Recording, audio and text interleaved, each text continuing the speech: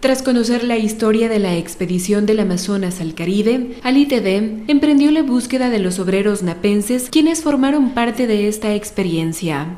Casi, los, casi mis compañeros están muertos ya. Lo que vimos es él, yo, abajo, aquí abajita ahí este, Jacobo Andy y aquí está Carlos Andy.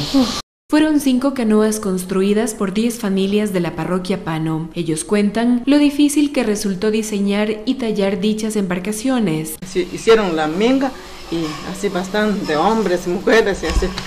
Mujeres sigue haciendo, cocinando, dando tomar chiche y así. Las canoas hechas a mano serán sin duda las protagonistas de la aventura más larga realizada por el geógrafo cubano Antonio Núñez Jiménez y su tripulación, quienes partieron desde Misaguayí hasta Cuba, tratando de probar su teoría. Estas canoas que, que navegaron 17.422 exactamente kilómetros fueron realizadas acá en Napo específicamente en la parroquia Pano. La vida de estas personas que mantienen intacta esta emoción ha cambiado. La salud de la mayoría está quebrantada. En algunos casos perecieron a la espera de un reconocimiento a su proeza. Que, que nos ayude, que, que haya ayuda, pues todos los que hicieron minga, todos los que estaban ahí, pues hicieron una fuerza grande. El suceso que marcó parte de la historia de Napo en 1987 cumplió a inicios de marzo su aniversario 30, el cual es recordado con nostalgia.